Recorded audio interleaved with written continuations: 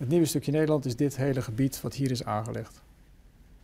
Dat is de Tweede Maasvlakte. Ja, dat is de Tweede Maasvlakte. En die gaat eind dit jaar in gebruik genomen worden? De plan is nu dat de eerste terminal uh, eind dit jaar uh, in gebruik genomen zal worden, inderdaad. En die terminal die zijn nu aan het bouwen op deze strookland en deze strookland. Maasvlakte 2 is de nieuwe trots van de Rotterdamse haven. Maar ondertussen stemmen de havencijfers niet tot optimisme.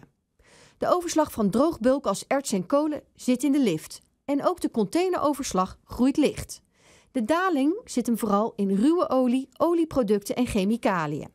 Over de eerste drie maanden van dit jaar komt dat uit op een daling van 0,2 procent. Minder overslag van olie dus in de Rotterdamse haven. En dat komt omdat de Arabieren zelf zijn gaan raffineren en straks raken de fossiele brandstoffen ook op. Er wordt nu al voor een derde minder verwerkt aan fossiele brandstoffen in de Rotterdamse haven.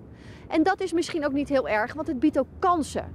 Het Rotterdamse havenbedrijf moet dan wel nieuwe wegen gaan bewandelen. Het gaat niet alleen om het volume, het gaat met name ook om de toegevoegde waarde. Die haven zal veel minder een standaard distributiehaven zijn. Dat zal veel meer een kennisintensief centrum zijn, wat uh, veel meer zich gaat toeleggen op, uh, op toegevoegde waarde, op het managen en regisseren van logistieke ketens, op het aantrekken van heel erg innovatieve chemiebedrijven uh, en om ook de omslag te maken naar nieuwe duurzame energievormen. En ja, dan moet die haven natuurlijk wel gaan doen. Ja, maar dat is de realiteit waarmee we zullen moeten werken. En, en we kunnen niet anders dan heel hard werken met klanten om desondanks slimmer te zijn, beter te zijn, meer te investeren, betere infrastructuur aan te leggen, beter naar onze klanten te luisteren en met partijen samen te werken om tot betere oplossingen te komen.